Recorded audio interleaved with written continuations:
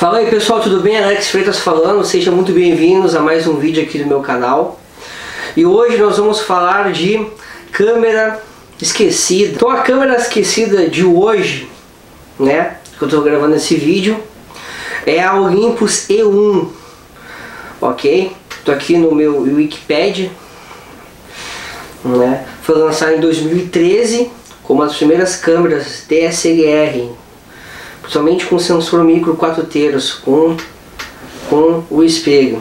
O que, que eu tenho a falar dessa câmera aqui? Bom, é uma câmera que já está esquecida, porque foi lançada em 2003.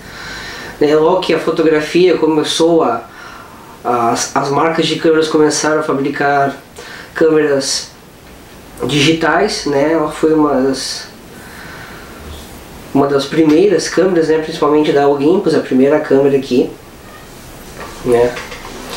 Com um sensor CCD, ou seja, um sensor bem mais antigo de 5 megapixels. O corpo dela é gigante, liga, de magnésio, aqui você pode ver algumas fotos dela. Sistema de, sistema de redução anti-poeira, isso é bem interessante para uma câmera da época.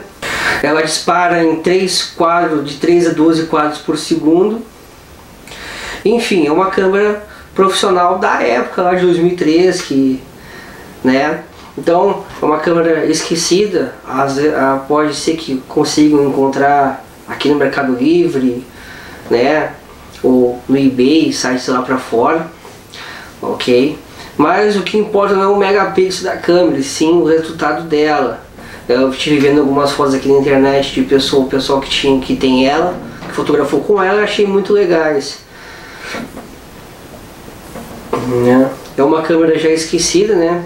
Como eu estava falando no vídeo anterior da Olympus, que decidiu encerrar, né? vendeu a, a parte de câmeras dela, então vamos começar com ela aqui, né? Falando um pouco dela, ok?